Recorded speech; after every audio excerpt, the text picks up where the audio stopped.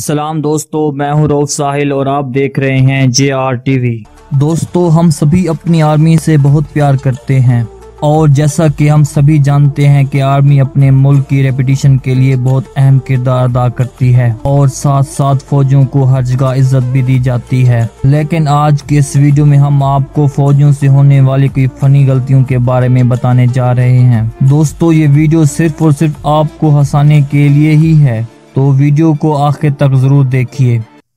अगर आप मेरे चैनल पर नए हैं तो चैनल को सब्सक्राइब करें और साथ बेल आइकन को प्रेस करें ताकि हमारी ऐसी न्यू मालूम आपको मिलती रहे। नंबर वन दोस्तों कुछ फौजी ऑपरेशन की वजह से समंदर के किनारे किसी आइलैंड पर पहुँचे। तो जब वो बोर्ड से नीचे उतरे तो वहाँ धसने वाली रेत थी। जैसे ही फौजियों ने जंप किया तो वो इसमें पूरी तरह धंस गए। इनसे बाहर निकलना उन सब के लिए बहुत ही अजाब बन गया था। ये वाकई बहुत अजीब लम्हा था।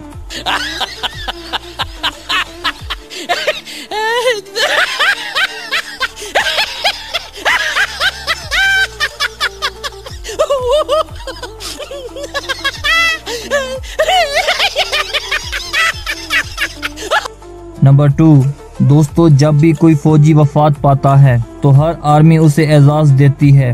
मरने वाले फौजी को सलामी दी जाती है, जिससे हर किसी को फख्र होता है। इससे मरने वाले के घर वालों को काफ़ी हौसला अफजाई की जाती है। पर दोस्तों, ये जो आप क्लिप देख रहे हैं, इसमें सलामी देने वाले फौजी काफ़ी कंफ्यूज हैं। इनको पता ही नहीं चल रहा कि आखिर करना क्या है। उनकी ये हालत देखने के बाद अफसोस का लम्हा मज़ाक में बन गया। नंबर थ्री, दोस्तों, जब भी किसी मुजरम को पकड़ना हो तो बेस्ट टीम उस जगह रेट मारती है, जहाँ रेट मारती है उनके दरवाजे बांधी होते हैं। तो इनको मुख्तलिफ़ हथियारों से तोड़ने की कोशिश की जाती है। दोस्तों, इस फौजी ने दरवाज़ा खोलने की बहुत कोशिश की, पर दरवाज़ा खुलने का नाम ही नहीं ले रहा था। इस बेचारे की मेहनत को देखकर इसके दोस्त को इस पर तरस आया। उसने आगे बढ़कर इसको रोका और केक मारी, जिससे दरवाज़ा खुल गया। इस बेचारे का शर्म से तो बुरा हाल हुआ होगा।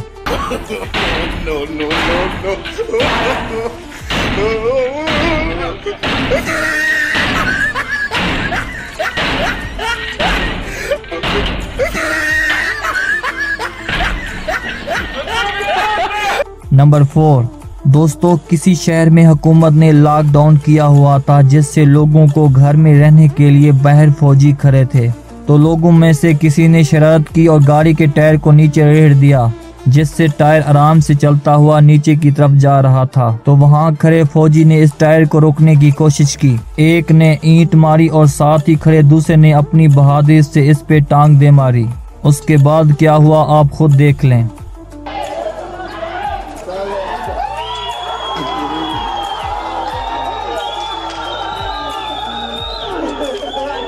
नंबर फाइव, दोस्तों, आर्मी के लोगों को हर तरह की ट्रेनिंग दी जाती है, ताकि वो दुश्मन का मुकाबला डट कर कर सकें।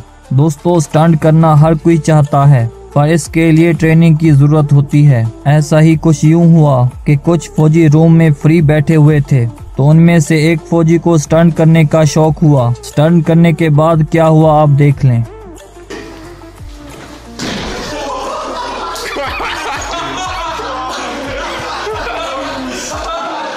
दोस्तों, हर फौजी अपने मुल्क के लिए अपनी जान तक को कुर्बान कर देता है। ऐसे फौजियों को हम सलाम पेश करते हैं। दोस्तों, आप अपनी आर्मी को इज़्ज़त देने के लिए कमेंट बॉक्स में पाक आर्मी जिंदाबाद कहें। तो ऐसी न्यू और मजीद अच्छी मालूम देखने के लिए हमारे चैनल को सब्सक्राइब करें और साथ बेल आइकन को प्रेस करें। और हमारी वीडियो को लाइक एंड शेयर भी कर दें। शुक्रिया।